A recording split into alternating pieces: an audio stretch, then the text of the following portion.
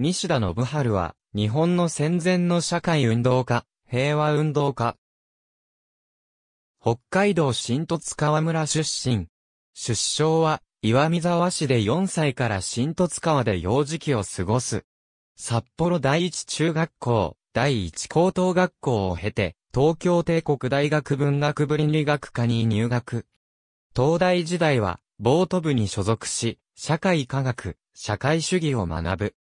小樽高等商業学校での軍事演習に対する抗議行動に橋を発した軍事教育批判が全国の大学に広がる中、治安維持法改悪により、私有財産制の否定や平和運動が処罰の対象となった1925年秋、新人会に参加し、石堂清治村と活動を始める。1926年5月より、大衆教育同盟本部書記などを務め、社会科学研究会でも活動。1925年から1926年1月にかけて、青年夏季学校の一員として、雨竜村の小作葬儀、八菅農場に応援に入る。1926年4月より、石堂とその妹千代と共に、東京市本郷区森川町に暮らしていた。1927年2月、新人会で、ファシズムについてと題する講演を開催。1927年4月、大学卒業とともに全日本鉄道従業員、組合本部書記となり、東京の各支部を指導。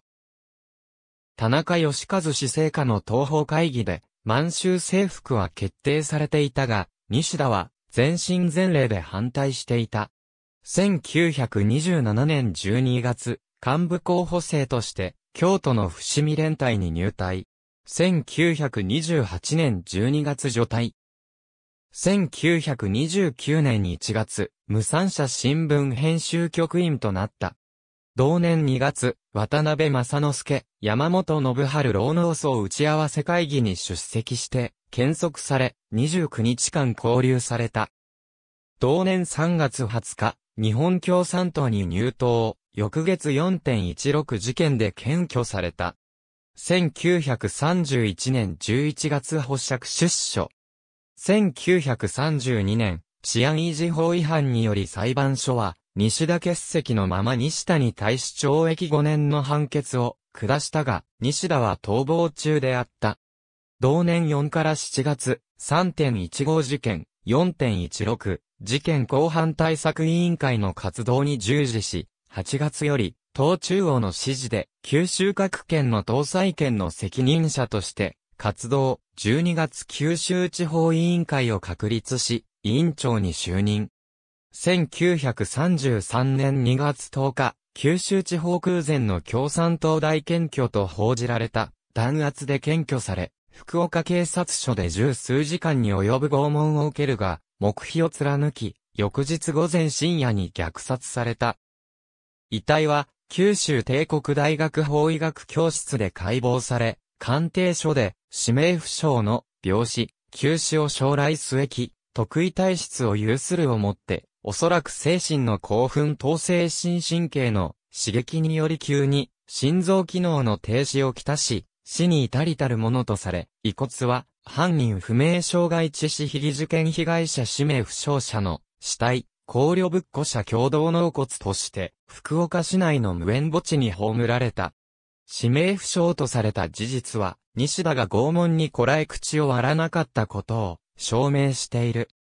没後明らかになった特攻警察による公文書によれば、西田の解剖報告書は以下の通りであり、河川部分は特攻警察により改ざんされた部分であった。男カバネ、身長169.0、体格大、右目2箇所、左右大体など、表皮破れ、内出血。腕に針でついたようなブチ球、中指と薬指の間の表皮破れ暗視色。強戦投球士を将来末期、得意体質。死後14、5時間、解剖報告書戦後しばらくの間、警察のスパイだという説があったが、1957年になって、当時特攻警察が意志を欺き、死を永久に闇に葬るつもりであったなどの真相が明らかになり、同4月16日付、赤旗は、二十数年ぶりにわかる、小西田信春氏虐殺当時の模様の記事を掲載。1970年、山岸はじめ賞、革命と、青春、日本共産党員の群像に評伝が書かれ、また、石堂清林、中野重春、厳選編、西田信春書簡、追憶が刊行された。1990年、京里の新十津川町に、西田信春碑が作られ、毎年2月11日、ひまえ祭りが開かれている。2012年12月、札幌市議会に、西田信春の虐殺事件を踏まえた、治安維持法犠牲者国家賠償法制定を求める、意見書が民主党、市民連合、公明党、日本共産党、市民ネットワーク北海道各、所属議員全員によって提出され、賛成多数により可決された。意見書可決を受け、市議会は意見書を、衆議院議長、参議院議長、内閣総理大臣、総務大臣に提出した。意見書案第6号、治安維持法犠牲者国家賠償法の制定を求める、意見書治安維持法犠牲者は、平和を願い人権尊重と、主権在民を唱え、戦争に反対したために逮捕され、拷問による虐殺、極死という多大な犠牲を受けた。治安維持法が制定された1925年から廃止されるまでの20年間、作家、小林滝次をはじめ、学者、宗教者、文化人など、逮捕者は数十万人、送検された人7万5681人、虐殺された人90人以上、拷問、虐待などによる、極死1600人余り、実刑5162人に上る。戦後、治安維持法は、日本が、ポツダム宣言を受諾したことにより、政治的自由の弾圧と人道に対する悪法として廃止された。この法律によって処罰された人々は無罪とされたが、政府は謝罪も賠償もしていない。ドイツでは連邦保障法でナチス犠牲者に謝罪し賠償している。イタリアでも国家賠償法で反ファシスト政治犯に終身年金を支給している。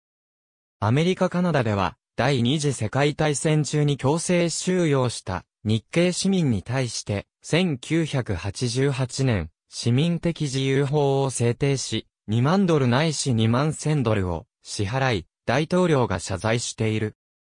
韓国では治安維持法犠牲者を愛国者として表彰し、犠牲者に年金を支給している。1993年に開催された日本弁護士連合会の第36回人権擁護大会では、治安維持法犠牲者は日本の軍国主義に抵抗し、戦争に反対したものとして、その行為は高く評価されなくてはならないと指摘され、保障を求めている。また、現在多くの地方議会において、治安維持法犠牲者国家賠償法の制定を求める意見書が採択されている。以上のような国内外の動きは、治安維持法犠牲者に対する謝罪と賠償の必要性、正当性を証明している。よって、国会及び政府においては、同じ過ちを繰り返さない立場から、治安維持法犠牲者国家賠償法を制定し、犠牲者に対して1日も早く謝罪と賠償を行う、よう強く要望する。以上、地方自治法第99条の規定により、意見書を提出する。平成24年12月13日、札幌市議会衆議院議長、参議院議長、内閣総理大臣、総務大臣民主党、市民連合、公明党、日本共産党及び市民ネットワーク、北海道所属議員全員、治安維持法犠牲者国家賠償法の制定を求める、意見書、札幌市議会、ABCDEFGHIJ 小松豊、高崎徹、新、鳩を飛ばす。明らかになった、戦争法の違憲性、札幌市、平和憲法草の根普及会、2015年7月31日、17から19ページ。ABC 荻野藤尾、特集、東アジアにおける戦後赤い戦争は終わったのか？来たるべき戦争遂行の準備に抗するために、チアニンジ法の悪法性の視点から P8、鶴見俊介、期待と階層朝日文庫、2008年1月、P216、西田信春西田信春デジタル版日本人、明大辞典プラスの解説、三村和夫、無産者新聞少子、戦争に反対し、殺された、西田信春って？新聞赤旗2005年2月10日、白石忍、戦前の党活動の教訓、西田信春書簡、追憶について1971年1月27日、平成24年第4回定例会12月13日06、5、札幌市市議会会議録、平成24年第4回定例会本会議、札幌市、札幌市議会事務局、P142 議長次に意見書案第6号を問題とします。本件を可決することに賛成の方はご起立願います。議長起立多数です。したがって、本件は可決されました。平成24年第4回定例会12月13日06、号、札幌市市議会会議録、平成24年第4回定例会本会議。札幌市、札幌市議会事務局。https://www.city.sapporo.jp スラッシュ gikai スラッシュ html スラッシュドキュメンツスラッシュ244トン06 PDF2017 年5月26日閲覧。ありがとうございます。